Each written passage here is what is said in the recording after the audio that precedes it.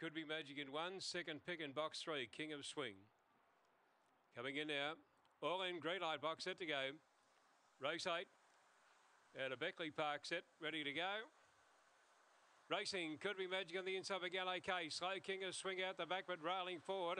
They were followed by Cyclone Zara, well back in company with Resounding. Coming up the back straight, and King of Swing is trying to drive up on the inside. And King of Swing got right up on the inside and took the lead from Black Mustang deep out. They were followed by Tickling L. Then could be magic, followed further back by Come on Eleanor Resounding. Back at the tail, Quick Income, Cyclone Zara. In the straight, King of Swing and Black Mustang the outside. King of Swing, just what did I say from Black Mustang? Third tight, Resounding or could be magic behind them. Then came Tick Along Elm. They were followed then by Come On Eleanor, Quick Income, Cyclone Zara, and the time is showing around 26.23.